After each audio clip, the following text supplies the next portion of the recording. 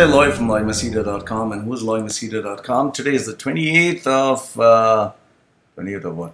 October 2014. The time is 1.54 in the afternoon.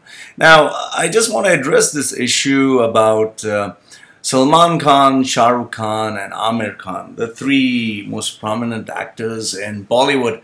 You know, if you actually look at their movies, uh, Salman Khan is always beefed up and buffed up Shah Rukh Khan appears in all these movies showing his six pack or whatever, eight pack abs. And then you have, um, what's his name? Uh, Aamir Khan, who appears in uh, the trailer of PK with uh, an amazing physique, which he also showed in the movie Ghajini. Now, people have this misconception that these are, um, you know, natural bodies. These are hardworking people, really hardworking people who have developed these natural bodies. Now, I'm going to tell you the truth, which uh, for the fans of Shah Rukh Khan, Salman Khan, and Aamir Khan, they would not be very happy. And obviously, they're going to give me their Hindi, Pindi bad words and uh, threats and unwanted comments, which is okay because you are uneducated and you're stupid. Um, however, for the educated uh, lot, you would understand what I'm saying. Now, you need to understand first and foremost is Shah Rukh Khan, Salman Khan, and Aamir Khan are nearly in their 50s, okay, or they're coming close to 50s. Now, these are uh, really intelligent people. They um, they are without a doubt talented. They are very hardworking and they are very focused and disciplined. Okay. Um, at the same time, you need to understand that they are very busy individuals. They have a they have various businesses which they have to run as a CEO or um, as a managing partner of the company. They have lots of endorsements. They have lots of um, appearances, media appearances, and at the same time, they also have to travel a lot. And then they have their personal family lives, and they also have their movies. So when they are juggling so many balls, it becomes relatively very hard for them to sit in one place, have uh, uh, a normal life or normal routine. So, for the people who travel, and most of you uneducated fans, I'm sure you don't, for those of you who do travel, you'd understand that once you travel to a new place, the food is different, the environment is different. You don't actually feel like going in the gym and pumping iron. At least I find it very hard when I'm not in the when I'm not in my comfort zone. And in order to uh, work out in the gym, you need to be focused you need to really be disciplined you need, really need to have the intensity and not only that the most important thing is uh, the age factor. Now once you cross 30 your body doesn't respond the way it used to respond when you're 20 when you're 20 you don't need to do warm up. You can just lift very heavy weights and your joints and your muscles hold up. However when you cross 30 your joints start paining. And then when you cross 35 your, your whole body starts aching when you do exercise. And in order to build a physique like Shah Rukh Khan, even, uh, even though he looks smaller in size, you need to really be very intense. And it is not physically possible. It is just not possible for them to take a natural lifestyle. So if you look, for example, if you look at Shah Rukh Khan's face, look at his face when he was young and look at his face now, you notice there is no hair loss at all. So is that natural? There is no, um, he doesn't, uh, his face, his chin, his nose, his cheeks, everything is so perfect.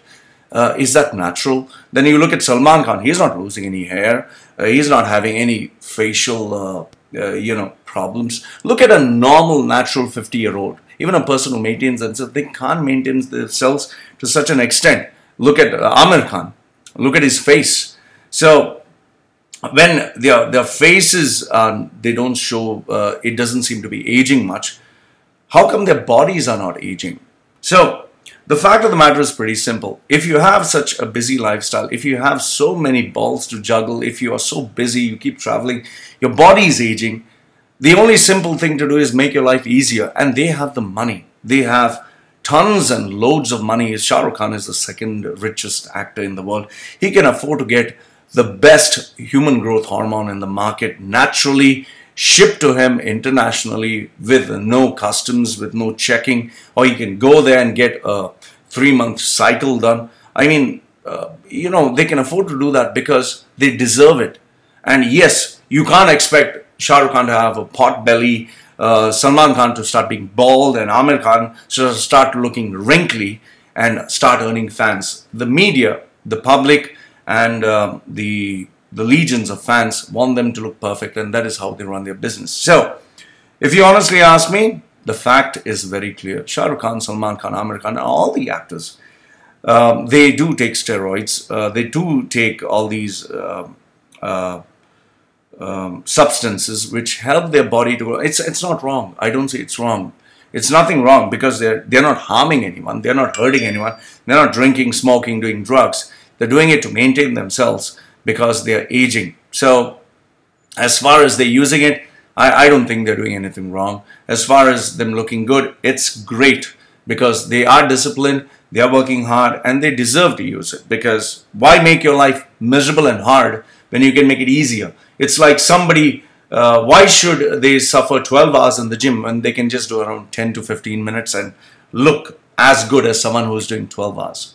So, uh, it's nothing wrong. However, for legions of uneducated fans to think, oh, they are doing it naturally because he's eating potatoes and he's eating only protein, he's eating fresh chicken every day, or uh, he is training very hard in the gym.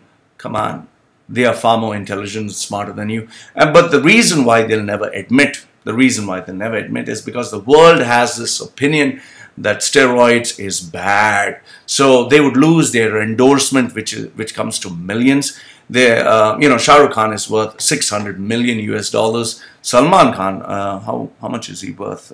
It's not mentioned here, but uh, you know, his his movies earn around 16 million US dollars, and he has quite a number of endorsements even here in the GCC Middle East. So they would lose all this, all this uh, if they were to go on a natural lifestyle. And, you know, their body's aged, man. Come on, give them a break.